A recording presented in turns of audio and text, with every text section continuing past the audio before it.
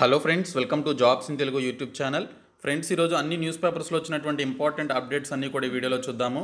Video చూస్తున్న ప్రతి ఒక్కరు కూడా వీడియోని లైక్ చేసి ఛానల్ని సపోర్ట్ చేయండి. చాలామంది వీడియోస్ చూస్తున్నారు కానీ లైక్ చేయట్లేదు. మీరు లైక్ చేసి ఈ వీడియోని మీ ఫ్రెండ్స్కి షేర్ చేసినట్లయితే చాలామందికి యూస్ఫుల్గా ఉంటుంది. అలాగే ఫస్ట్ టైం మన ఛానల్ని విజిట్ చేసినట్లయితే సబ్స్క్రైబ్ చేసుకొని బెల్ సిమ్ని యాక్టివేట్ చేసుకోండి.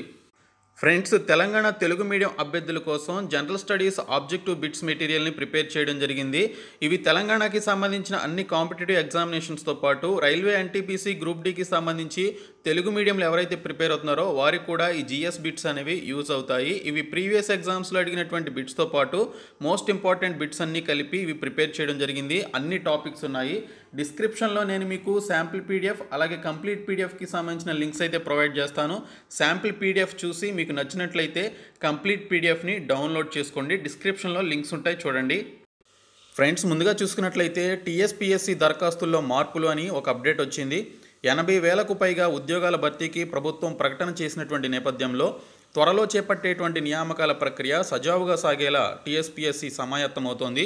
నిరుద్యోగుల నుంచి అందుతున్నటువంటి ఫిర్యాదుల మేరకు అవసరమైనటువంటి మార్పులను దరఖాస్తుల్లో చేయనున్నట్లు సమాచారం. దరఖాస్తు పూర్తి చేసిన తర్వాత అభ్యర్థులు ప్రివ్యూ సమయంలో నమోదు చేసినటువంటి వివరాలు సరిచూసుకోవడం లేదు. ఇది అధికారుల దృష్టికి వచ్చినట్లు తెలిసింది. ఆ సమస్యను అధిగమించేందుకు ప్రివ్యూ తర్వాత సబ్మిట్ ఆప్షన్ ఇచ్చాక మూడు నిమిషాల వరకు సబ్మిట్ కాకుంటే సాఫ్ట్వేర్లో మార్పులు చేసినట్లు తెలిసింది.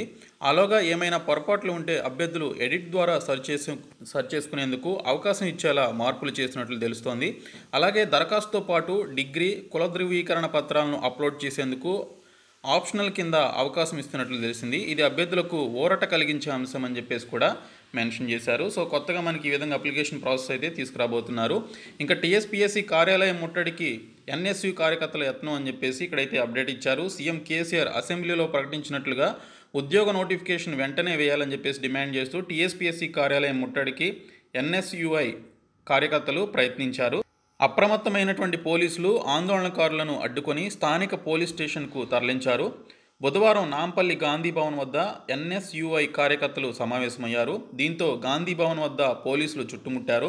అనంతరం కార్యకర్తలు గాంధీ భవన్ రెండు గేట్ల ద్వారా టీఎస్పీఎస్సీ కార్యాలయం వైపు దూసుకెళ్ళారని చెప్పేసి మెన్షన్ చేయడం జరిగింది. దీంతో పోలీసులు వారిని అడ్డుకున్నట్లుగా డీటెయిల్స్లు ఇచ్చారు. ఇంకా పకడ్బందీగా బ్యాక్లాగ్ నివారణ అని చెప్పేసి డీటెయిల్స్ ఇవ్వడం జరిగింది. ఉన్నత కేటగిరీ తర్వాతే కింది స్థాయి ఉద్యోగ ఫలితాలు ఖాళీలు మిగలకుండా ప్రణాళికలు అని చెప్పేసి డీటెయిల్స్లో మెన్షన్ చేయడం జరిగింది.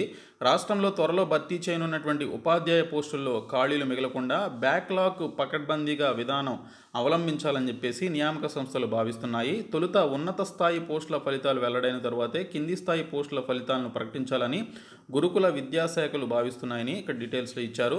అభ్యర్థులు ఒకే విద్యారాతలతో రెండుకు మించి పోస్టులకు రాత పరీక్షలు రాసే అవకాశం ఉండడంతో ఈ దిశగా యోచిస్తున్నాయి. టీఎస్పీఎస్సీ అమలు చేస్తున్నటువంటి లి రీలింక్విష్మెంట్కి సంబంధించి ఓకే? రిలింక్విష్మెంట్కి సంబంధించి అలాగే ఇక్కడ ఒక అభ్యర్థి ఎక్కువ పోస్టులకు ఎంపికైనప్పుడు ఒక పోస్టు మినహా మిగిలినవి స్వచ్ఛందంగా వదులుకోవడం నిబంధన అన్ని నియమ నియామకాల్లో పాటించేలా గురుకుల బోర్డుతో పాటు మిగతా నియామక సంస్థలు ప్రతిపాదనలు సిద్ధం చేస్తున్నాయి. ప్రభుత్వం ప్రకటించినటువంటి ఖాళీల్లో ఎక్కువగా ఉపాధ్యాయ కేటగిరీ పోస్టులు ఉన్నాయి PG degree MEd BEd DEd అర్హత అర్హతలతో కూడినటువంటి ఈ పోస్టులు దాదాపు ఇరవై మూడు వేల వరకు ఉన్నాయి. ప్రిన్సిపల్ కేటగిరీ నుంచి ఎస్జిటి టీజీటీ వరకు లక్షలాది మంది పోటీ పడనున్నారని చెప్పేసి డీటెయిల్స్లో ఇచ్చారు. తొలుత ప్రిన్సిపల్ పోస్ట్ నుంచి అని చెప్పేసి కూడా డీటెయిల్స్లో ఇచ్చారు. గతంలో గురుకుల నియామకాల్లో తొలుత టీజీటీ ఫలితాలు రావడంతో ఎంపికైనటువంటి వారు ఆ ఉద్యోగాల్లో చేరారు. తర్వాత పీజీటీ ఫలితాలు రావడంతో టీజీటీ పోస్టులను వదిలేశారు. ఇదే తరహాలో లెక్చరర్ పోస్టులు రాగానే పీజీటీ ప్రిన్సిపల్ పోస్టులు రాగానే లెక్చరర్ పోస్టులకు రాజీనామాలు చేశారు. గురుకుల ఫలితాలు వెల్లడయ్యాక పాఠశాల విద్యలో టీచర్ ఉద్యోగాల ఫలితాలు రావడంతో గురుకులాల్లో పోస్టులన్నీ విడిచిపెట్టారు.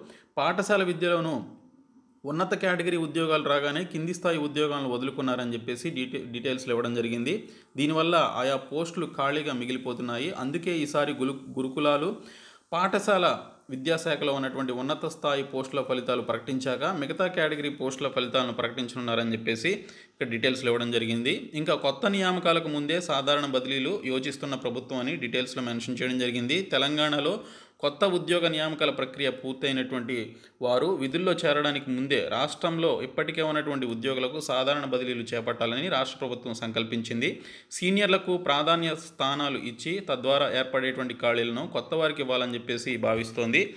మే జూన్ మాసాల్లో ఇది జరగవచ్చని చెప్పేసి అంచనా.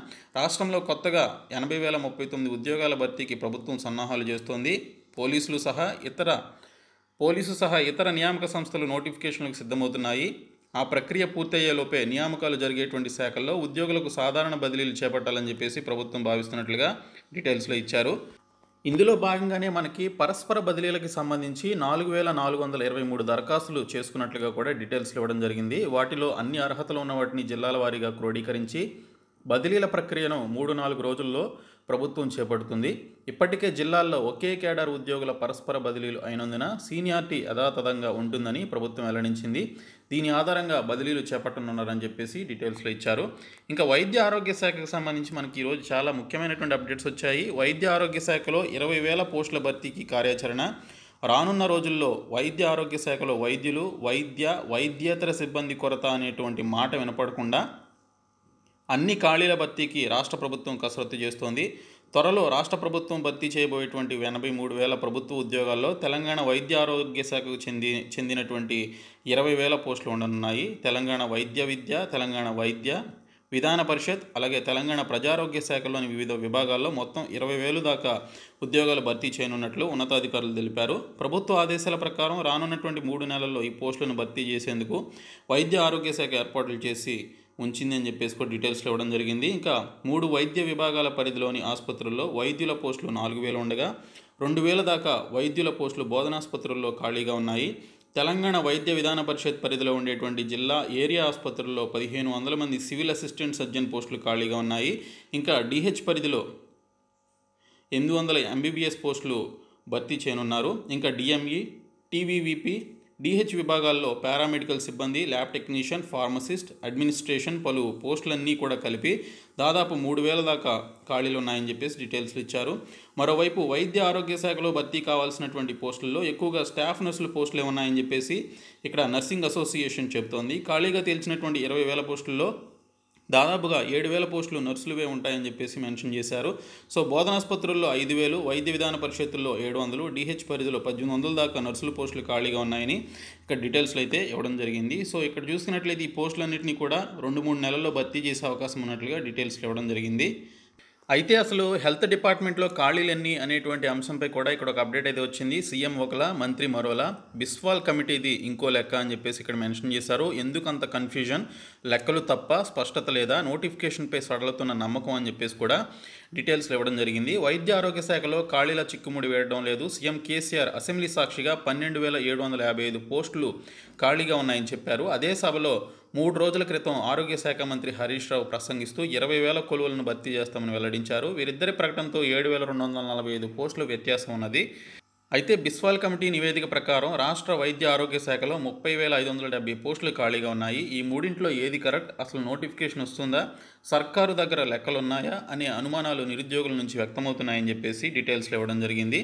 సో ఇక్కడ చూసుకున్నట్లయితే ఈ విధంగా ముఖ్యమంత్రి గారు మంత్రి గారు బిస్వాల్ కమిటీలో ఉన్నటువంటి ఈ యొక్క ఖాళీల వల్ల ఇక్కడ నిరుద్యోగులు గందరగోళానికి గురవుతున్నారని చెప్పేసి ఇక్కడైతే మనకి మెన్షన్ చేయడం జరిగింది. సో నోటిఫికేషన్ వస్తే తప్ప ఎన్ని నోటి ఎన్ని వేకెన్సీస్ ఉన్నాయనేది తెలుస్తుంది. ఇంకా వైద్య ఆరోగ్య శాఖలో వెయిటేజీ ఎలా అని చెప్పేసి ఇక్కడైతే మెన్షన్ చేశారో. కోవిడ్ సమయంలో పనిచేసినటువంటి కాంట్రాక్ట్ హెల్త్ వర్కర్లకు వెయిటేజీ ఇస్తామన్న సర్కారు వెయిటేజీకి ప్రాతిపదికపై కొరవడినటువంటి స్పష్టత అని చెప్పేసి కూడా మెన్షన్ చేయడం జరిగింది. సో వైద్య శాఖలో మనకి భర్తీ చేస్తామని చెప్పినటువంటి పన్నెండు వేల ఏడు వందల యాభై ఐదు ఖాళీలకి సంబంధించి వెయిటేజీ ఎలా ఇవ్వాలి అనేటువంటి అంశంపై ఇక్కడ తర్జన భర్జనలు పడుతున్నట్లుగా ఇక్కడైతే తెలుస్తోంది. సో ఇక్కడ చూసుకున్నట్లయితే నూట అరవై ఆరు జీవో ప్రకారం వెయిటేజ్ చూసుకున్నట్లయితే ఉమ్మడి రాష్ట్రంలో కాంట్రాక్ట్ ఉద్యోగుల వెయిటేజీకి సంబంధించి జీవో నూట అరవై ఆరు అనేది ఉండేది. ఆ జీవో ప్రకారం ఏజెన్సీ ఆ పర్టికులర్ ప్రాంతాల్లో పనిచేసేటువంటి వైద్యులకు నర్సులకు ఏడాదికి మూడు మార్కులు వెయిటేజీ ఇచ్చేవారు. ఇతర ప్రాంతాల్లో పనిచేసేటువంటి వారికి రెండు మార్కులు ఇచ్చేవారు. ఇలా ఐదేళ్ళ వరకు వెయిటేజ్ ఇవ్వాలని జీవో నూట అరవై అరవై ఆరు చెబుతోంది. ఆ లెక్కన ఏజెన్సీ ప్రాంతాల్లో ఐదేళ్ళు పనిచేస్తే పదిహేను మార్కులు ఇతర ప్రాంతాల్లో పనిచేసినటువంటి వారికి పది మార్కులు కలుస్తాయి. ఇప్పుడు కూడా నూట అరవై ఆరు జీవో అనే ప్రాతిపదికగా తీసుకునే అవకాశం ఉందని భావిస్తున్నారు. ఇంకా ఆల్ ఇండియా వైడ్గా కేంద్ర ప్రభుత్వ సంస్థల్లో ఎనిమిది లక్షల డెబ్బై రెండు వేల రెండు వందల నలభై మూడు పోస్టులు ఖాళీలు ఉన్నట్లు నిన్న పార్లమెంట్ సాక్షిగా కేంద్ర మంత్రి వెల్లడించడం జరిగింది. సో ఇక్కడ చూసుకున్నట్లయితే బుధవారం లోక్సభలో శివసేన సభ్యుడు అరవింద్ సామంత్ అడిగినటువంటి ఓ ప్రశ్నకు కేంద్ర సిబ్బంది వ్యవహారాలు శిక్షణ మంత్రి శిక్షణ శాఖకు సంబంధించినటువంటి మంత్రి జితేందర్ సింగ్ ఇచ్చినటువంటి సమాచారం ప్రకారం కేంద్రంలోని డెబ్బై ఏడు మంత్రిత్వ శాఖలు డిపార్ట్మెంట్ల పరిధిలో ఇక్కడ చూసుకున్నట్లయితే నలభై లక్షల నాలుగు వేల తొమ్మిది వందల నలభై ఒక్క పోస్టులు మంజూరు కాగా ప్రస్తుతం అక్కడ ముప్పై ఒక్క లక్షల ముప్పై రెండు వేల ఆరు వందల తొంభై ఎనిమిది మంది పనిచేస్తున్నట్లు ఇక్కడ మెన్షన్ చేయడం జరిగింది. ఇంకా రక్షణ సివిల్ విభాగంలో ఆరు లక్షల ముప్పై మూడు వేల పోస్టులకు గాను మూడు లక్షల ఎనభై ఐదు వేల మంది పనిచేస్తున్నారు.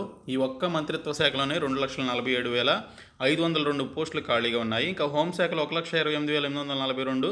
ఇంకా పోస్టల్ డిపార్ట్మెంట్లో తొంభై వేల యాభై. రెవెన్యూ విభాగంలో డెబ్బై ఆరు వేల మూడు వందల ఇరవై ఏడు పోస్టులు ఖాళీ పోస్టులు భర్తీ చేయాల్సి ఉంది అని చెప్పేసి మెన్షన్ చేయడం జరిగింది.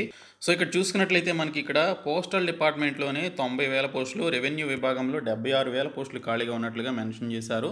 అలాగే రైల్వేలో ఖాళీల భర్తీ ప్రక్రియకి సంబంధించి కూడా ఒక అప్డేట్ అయితే వచ్చింది. రైల్వేలో అత్యధిక ఖాళీల భర్తీ ప్రక్రియ చేపట్టినట్లు రైల్వే మంత్రి అశ్విని వైష్ణవ్ బుధవారం లోక్సభకు చెప్పారు. ఇక్కడ ఉన్నటువంటి రెండు లక్షల తొంభై నాలుగు వేల ఆరు వందల ఎనభై ఏడు ఖాళీల్లో ఒక లక్ష యాభై మూడు వేల తొమ్మిది వందల డెబ్బై నాలుగు పోస్టుల భర్తీ ప్రక్రియ పూర్తి చేసినట్లు తెలిపారు. ఇంకా ఒక లక్ష నలభై వేల ఏడు వందల పదమూడు ఖాళీల భర్తీ ప్రక్రియ ప్రారంభించామని ఇది పరీక్షల దశలో ఉందని చెప్పేసి వివరించారు. నోటిఫై చేసినటువంటి ఖాళీల్లో దక్షిణ మధ్య రైల్వేలో ఇక్కడ పదహారు వేల ఏడు వందల ముప్పై ఆరు పోస్టులు సికింద్రాబాద్ ఆర్ఆర్బి పదిలో ఇక్కడ పదివేల ముప్పై ఎనిమిది పోస్టులు ఉన్నట్లుగా చెప్పారు. రైల్వేలను ప్రైవేటీకరించే ఉద్దేశం ప్రభుత్వానికి లేదని మరో ప్రశ్నకు సమాధానంగా మంత్రి స్పష్టీకరించారని మెన్షన్ చేయడం జరిగింది. సో ఓన్లీ సికింద్రాబాద్ పరిధిలోనే పదివేల పోస్టులు ఖాళీగా ఉన్నట్లుగా ఇక్కడైతే ఆయన వెల్లడించడం జరిగింది. ఇంకా రైల్వేలో ఎప్పటికప్పుడు ఖాళీల భర్తీ అని చెప్పేసి మెన్షన్ చేశారు. ఎంపీ నామా ప్రశ్నకు కేంద్రం బదులు అని చెప్పేసి కూడా ఇక్కడైతే మనకి మెన్షన్ చేయడం జరిగింది. ఇంకా కాంట్రాక్ట్ ఉద్యోగులందరినీ పర్మినెంట్ చేయాలి అని చెప్పేసి ఇక్కడైతే డిమాండ్ చేస్తున్నారు.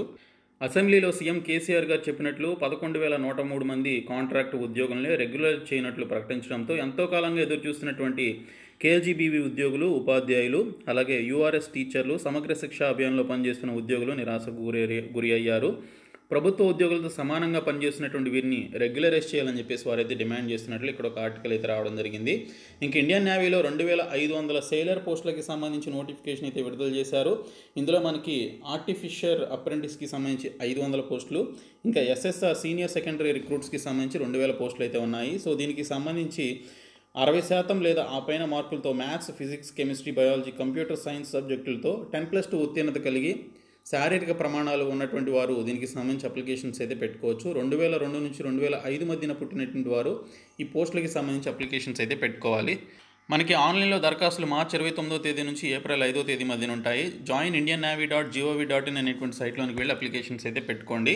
ఇంకా సర్కారీ కొలువులకు సిద్ధమా అని చెప్పేసి ఇక్కడైతే మెన్షన్ చేశారో. మనకి రిలీజ్ కాబోయేటువంటి ఎనభై వేల ఉద్యోగాలకు సంబంధించి group one two three four తదితర పోస్టులు విపరీతమైనటువంటి పోటీ పడే అవకాశం ఉన్నటువంటి నేపథ్యంలో సిలబస్ ఏ విధంగా చదవాలి మెటీరియల్స్ ఏముంటాయి పటిష్ట సమయపాలన ఏ విధంగా ఉండాలి బిడ్ బ్యాంక్స్ ఏ విధంగా చదువుకోవాలి అలాగే ఒకేసారి పరి పలు పరీక్షలకు ఎలా ప్రిపేర్ అవ్వాలనేటువంటి యొక్క కంప్లీట్ ప్రిపరేషన్ ప్లాన్ గురించి ఇక్కడైతే మనకి సాక్షిలో రావడం జరిగింది. ఇంకా జనరల్ స్టడీస్ గ్రూప్ ఫోర్కి సంబంధించి ఏ విధంగా ప్రిపేర్ అవ్వాలనేటువంటి డీటెయిల్స్ కూడా ఇచ్చారు.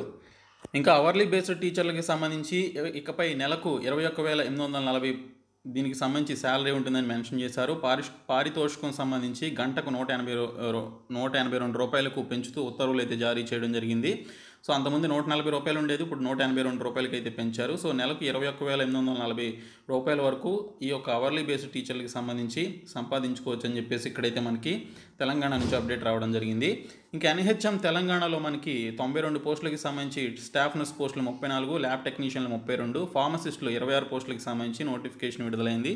ఈమెయిల్ ద్వారా మీరు దరఖాస్తులు అయితే సబ్మిట్ చేయాలి. ఈ ప్రకటన వెలువడిన తేదీ నుంచి పదిహేను రోజుల్లోపు సబ్మిట్ చేయాలి. TS NHM dot CGG dot gov dot in అనేటువంటి సైట్లోనికి వెళ్ళి అప్లై చేయండి. ఇంకా బీఈఎంఎల్లో మేనేజ్మెంట్ ట్రైనింగ్లకు సంబంధించి నోటిఫికేషన్ అయితే గ్రేడ్ టూ పోస్టులకు సంబంధించి నోటిఫికేషన్ ఇచ్చారు. ఎన్హెచ్ఆర్సీలో ట్రాన్స్లేటర్లకు సంబంధించి నలభై మూడు పోస్టులతో నోటిఫికేషన్ వచ్చింది. రైల్టెల్ కార్పొరేషన్లో నూట మూడు పోస్టులకు సంబంధించి నోటిఫికేషన్ వచ్చింది. ఇంకా ఆంధ్రప్రదేశ్ ఆర్టీసీ అలాగే గ్రామ వార్డు సచివాలయాలు మిగతా శాఖల్లో పద్దెనిమిది వందల పోస్టులకి పైగా ఉన్నటువంటి ఒక యొక్క కారుణ్య నియామకాలు జరపాలని సీఎం ఆదేశాలు ఇచ్చినట్లుగా ఇక్కడ మంత్రి ఇక్కడ పేరు నాని తెలపడం జరిగింది. అలాగే ఇక్కడ చూసుకున్నట్లయితే మనకి ఎన్బీసీసీలో ఎనభై ఒక్క జూనియర్ ఇంజనీర్ పోస్టులకి సంబంధించిన నోటిఫికేషన్ అయితే ఇచ్చారు. సో దీనికి సంబంధించి పర్మనెంట్ పోస్టులు ఇవి. సో వీటికి సంబంధించి కూడా మీరు అప్లికేషన్స్ అయితే పెట్టుకోవచ్చు. ఇవి మనకి ఈరోజు వచ్చినటువంటి అప్డేట్స్. సో ఈ వీడియోని మీ ఫ్రెండ్స్కి షేర్ చేయండి. మన ఛానల్ సబ్స్క్రైబ్ చేయండి. Thank you so much guys.